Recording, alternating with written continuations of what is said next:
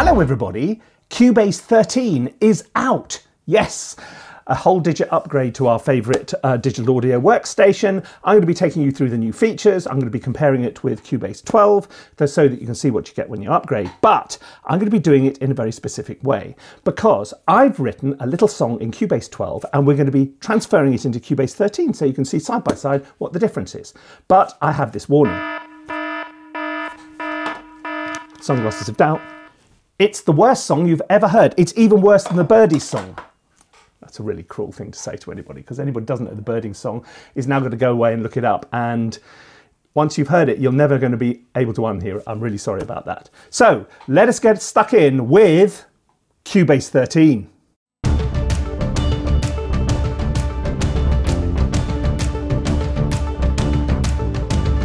Welcome to Cubase 13.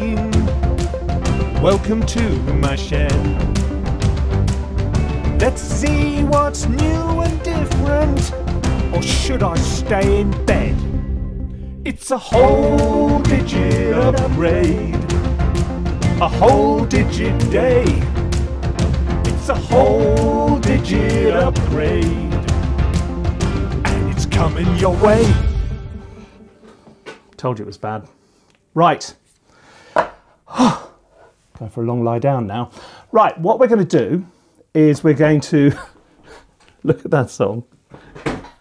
These are the sunglasses of confidence. At graduation for our master's degrees uh, the other week, um, a student came up to me and gave these to me as a present because he came in with the sunglasses of doubt and went out with the sunglasses of confidence. Very good. Right. Um, let's get stuck in and have a look at Cubase 13. Right, here is the sequence. I mean, there's some subtle differences to the actual layout of the um, of, the arrange page and all that kind of thing. The most significant upgrade probably is a little button tucked away on the top corner here. Do you see You've got left hand uh, zone, uh, lower zone, right hand zone, and an extra zone. Stand by for action when I show you this. You're going to fall on the floor with shock. yeah, what you get is a mixer channel down the left hand side. This is actually very, very useful. Um, if particularly if you're a laptop user where you don't have multiple um, monitors, you know, you're trying to swap between the, the mixer channel and the, oh, it's a bit much. This is very useful. I think it's a feature which comes from um, uh, Reaper, actually. I think they've got that going already. Um, but it is really good because it mean, you can see things like um, inserts and sends and all that kind of thing in one thing without, if you did the bottom zone, there we go, mix console, you have to sort of swap through them like this, and it's not quite so convenient. So this is a good thing. So you can go through, and each one of these you can see. Um, so that is uh, quite a significant change. Um, the next thing in their little document, which they send out, hang on, warm, here's the document which we get sent. Uh, new features guide.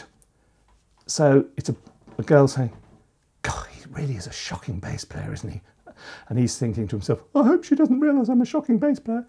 Um, so if we flip down, obviously the uh, new mixer channel tab is um, top of their list. Next up, slick, streamlined and focused, a new look to the mixer. Okay, well, let's have a look. Um, let's get up the uh, Cubase 12 mixer. Okay, there's the Cubase 12 mixer in all its glory.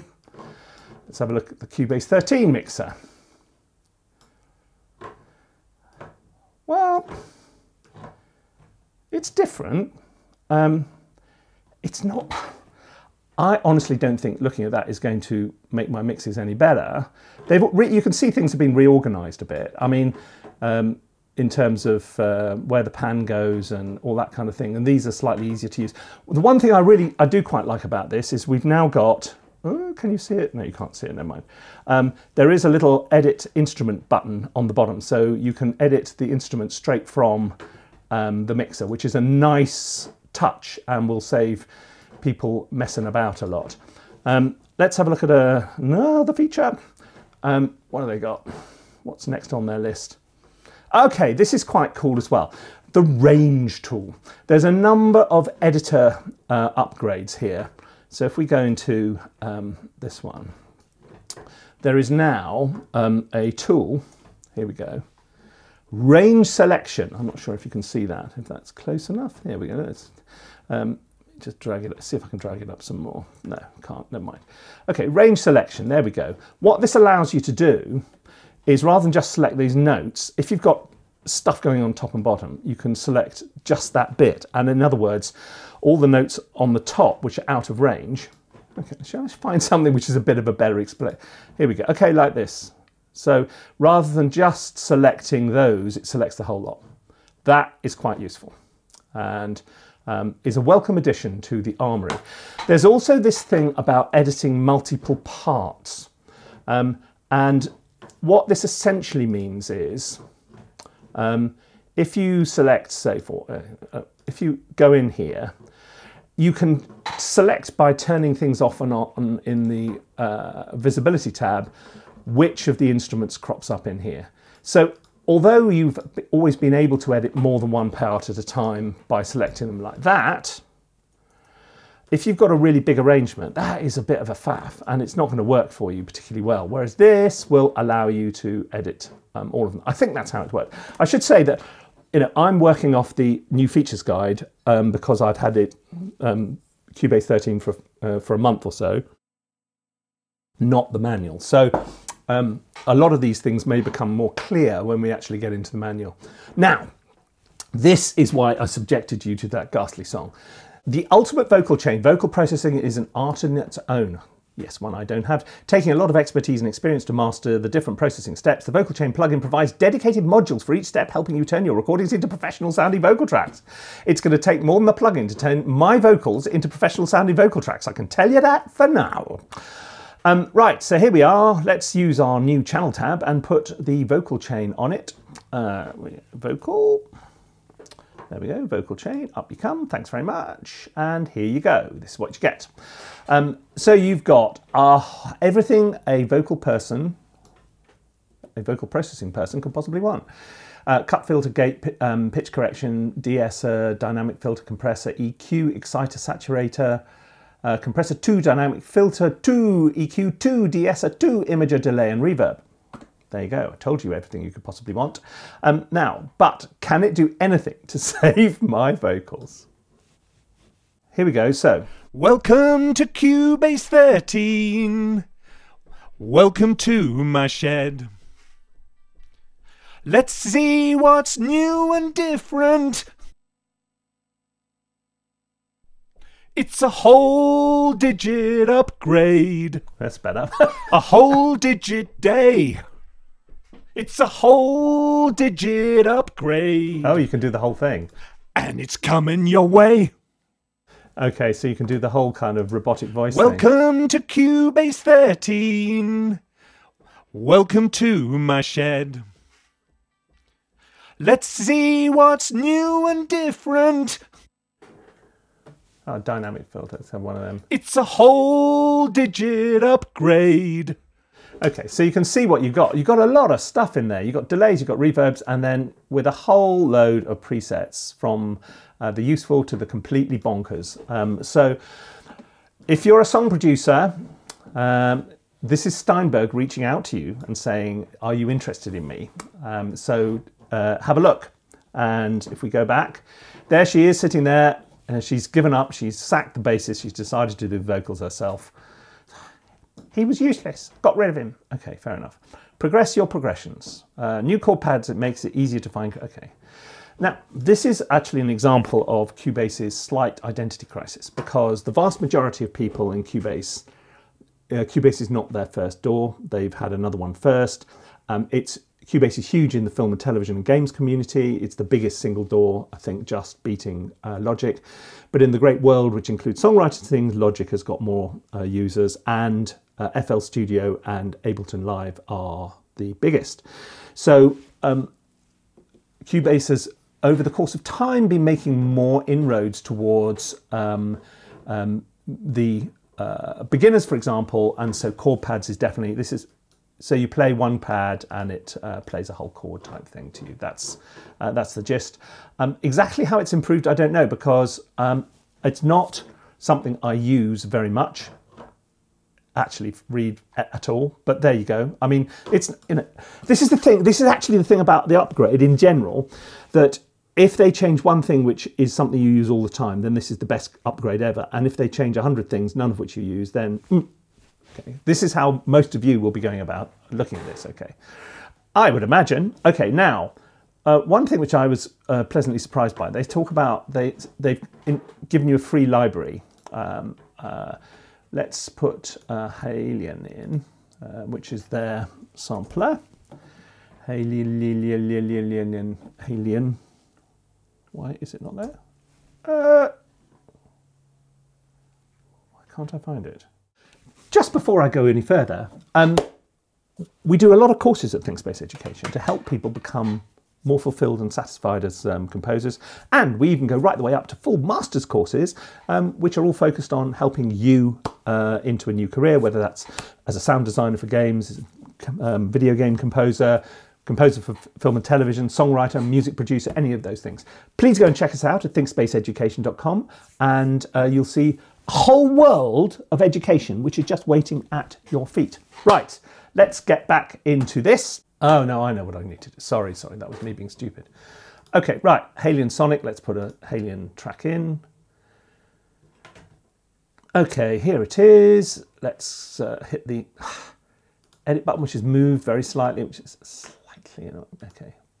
Okay, factory, Iconica sketch. Actually, if you look at this, what you're getting is a whole sort of library. You're getting a whole orchestral library.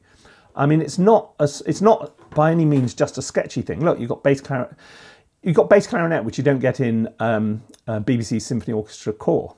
Uh, so you have indeed a complete uh, orchestra library here, which is quite cool, and um, it doesn't sound half bad actually. Um, oh, where's it gone? Ah, try deep.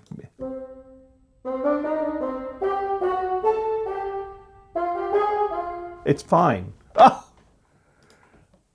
That was Cubase 12 having a hissy fit.